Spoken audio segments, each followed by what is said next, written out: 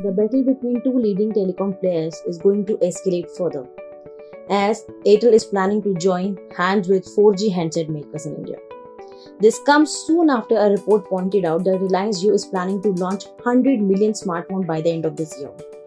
This new move is likely to increase the Jio subscriber base as it is planning to bring affordable smartphones with 4G network. In fact, the company has already started discussion with domestic handset makers for manufacturing. On the other hand, to tackle Jio, Airtel is also talking to several handset makers to bring smartphones in the same category on Android platform. If we talk about Airtel, then there are high chances that Airtel is looking for two options that is locked and another is unlocked with domestic handset makers. This means the smartphone will have all Airtel plans including monthly billing options.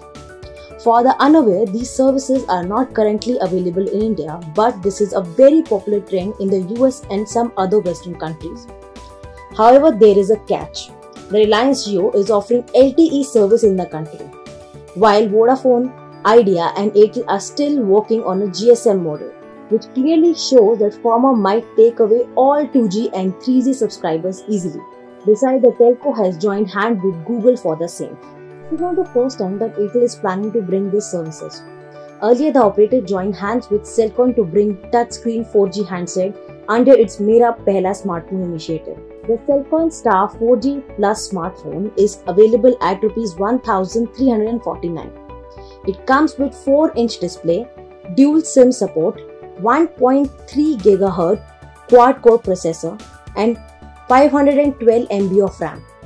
It also has 3.2 MP camera at the back and 2 megapixel camera at the front. Apart from that, Airtel has announced several data packs with many smartphones. So guys, that's all from our side for today. Keep watching Gizbot and thank you so much.